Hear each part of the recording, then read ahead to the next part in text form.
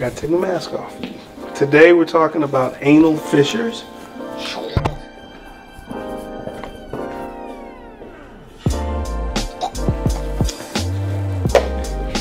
He's mad, mad for a reason.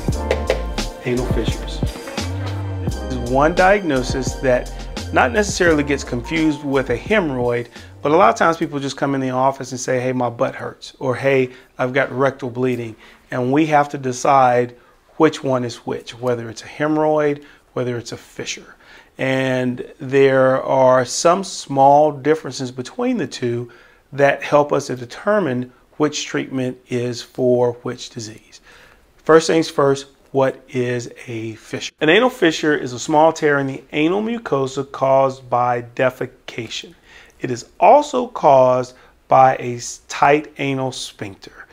A tight anal sphincter is the underlying reason why people have pain with defecation from an anal fissure. This tear that occurs is because in order to have a bowel movement, you take a small hole that looks like this, and it has to get like this before it can have a bowel movement. The only way that it can do that is to make a tear. So what you end up with is this, and you have a bowel movement. The tear that occurs right here is the actual fissure. It occurs in the muscle as well as on the surface of the anus.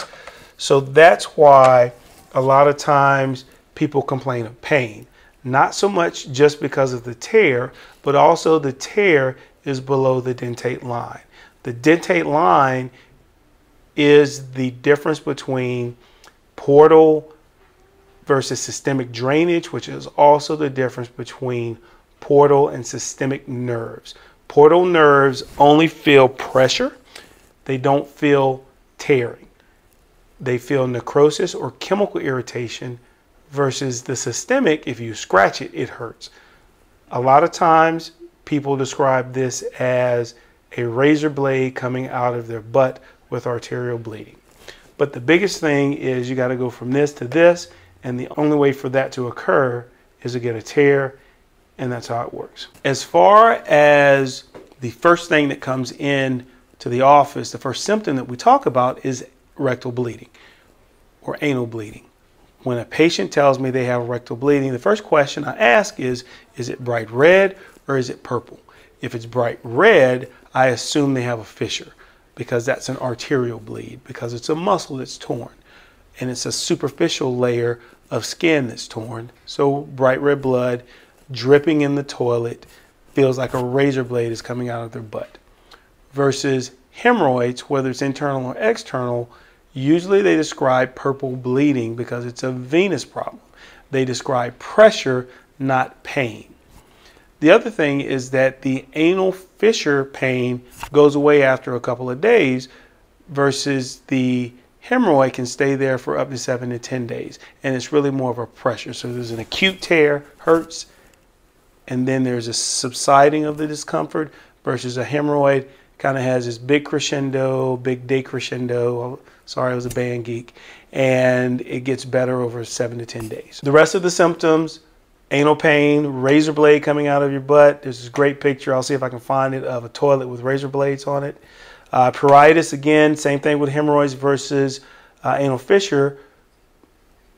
But this one is itching because of the healing of the tear. These patients don't have fecal incontinence. If they someone tells you that they have fecal incontinence, you have to start thinking of hemorrhoids or rectal prolapse. They have continence because of that tear that allows them to have to dilate that muscle in order to have a bowel movement. The sensation of pain at rest for a fissure is because you have a tear in your butthole, and that butthole tear feels like a razor blade coming out. As far as the anatomy goes, again, rectum above the dentate line, anus below the dentate line. Uh, you see the papilla here. The tear occurs right here. This is a slice, but remember these muscles are circumferential. So what you're getting is a tear underneath in the muscle or a rip in the muscle and a tear in the skin, and because it's below the dentate line, it causes pain. Now, as far as diagnosing a fissure or the difference between a fissure and a hemorrhoid, the treatment options are determined by the diagnosis. There are no tests. This is a clinical diagnosis. This is a physical exam diagnosis. Again, we're trying to determine the difference between a hemorrhoid and an anal fissure. With regards to the diagnosis and treatment, hemorrhoid versus fissure, there's subtle differences. Again, you still got to do a digital rectal exam. You're looking for a sentinel pile. A sentinel pile is basically a skin tag. It's a skin tag that occurs on usually the posterior aspect of the of the anus where the fissure is occurring over and over and over and over again and your body is just trying to heal that by putting extra skin. And the problem is it's a muscle issue, not so much just a skin issue. Every once in a while, if you don't see the sentinel pile or the tear, you'll have to do an anoscopy or an examination under anesthesia in the operating room. Once you get the diagnosis, same stuff applies with hemorrhoids. Dietary lifestyle changes, increasing fiber, being careful not to use too much fiber, while at the same time making your stools soft. The biggest thing that you have to do is use Colace, mineral oil, whatever you need to to make your stool like toothpaste. Once you do that, sitz baths will help relax that muscle. Again, topical steroids, no no for both of them.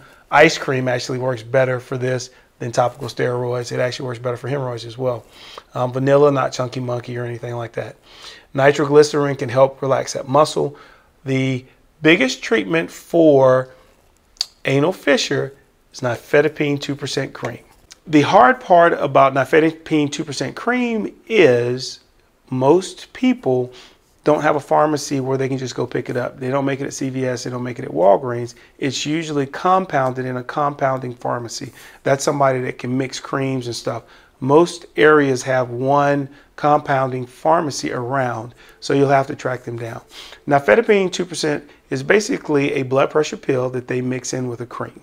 It works great because it relaxes the smooth muscles. Relaxing those smooth muscles allows that muscle to relax and stay that way and hopefully heal correctly.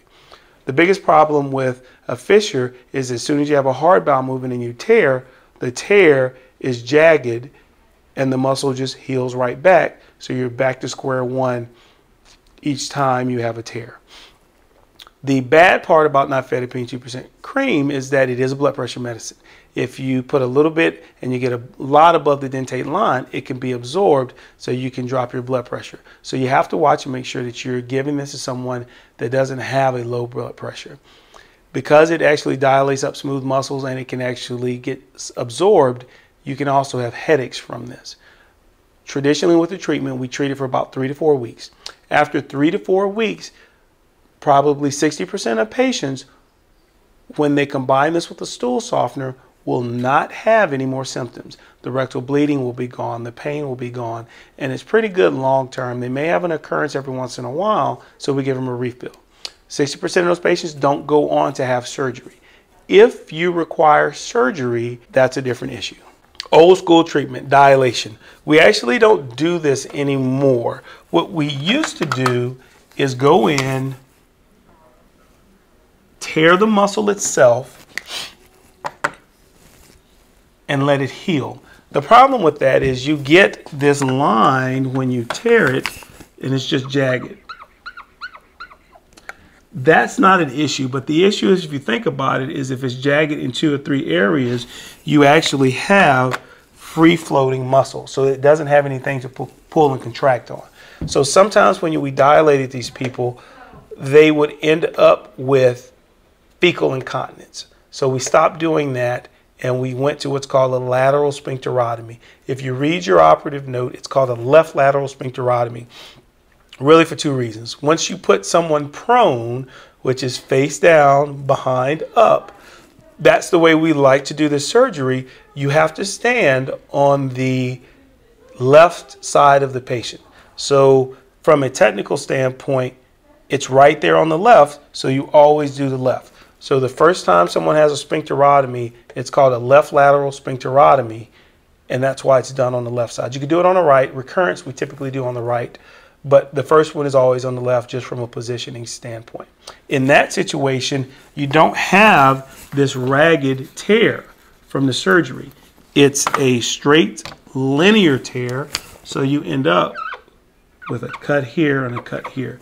You try to cut about 70% of the muscle so that it has this here form scar in this area and that scar achieves that dilated anus. Remember this is not just a thin muscle, it's almost like a can. You want to cut 70% to 90% of the can, leaving a little bit of muscle there to prevent fecal incontinence, but at least 70% so that they have a low recurrence rate. If this doesn't work and you do a right sphincterotomy the second time and they still have problems, then that's when you start getting into fancy stuff like an anal advancement flap. Basically what you're doing there is bringing mucosa up above the muscle once you do the procedure so that you're basically filling this area in with new mucosa. You fill that in, then that prevents this muscle from scarring back down and again have to um, worry about a recurrence. But this is usually very rare. Patients that have this done for a anal fissure typically have something else underlying going on and it's not just that simple.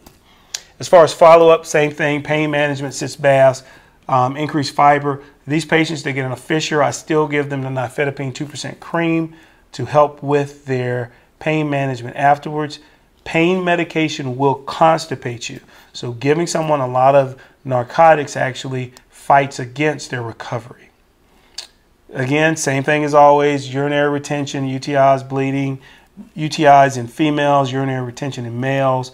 Um, we don't want fecal incontinence and we don't even have to worry about an anal stricture in these patients because they have a different problem. Fissure. That's pretty much it. Um, bright red blood per rectum, fissure. Dark, hemorrhoid. Pressure, hemorrhoid.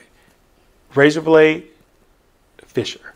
Next, what we'll talk about probably will be colon cancer because that pretty much hits the top three of issues that cause rectal bleeding in a general practice.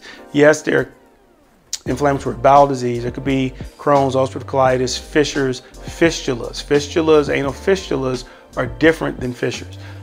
But for the most part, rectal bleeding, it's going to be a fissure or hemorrhoid.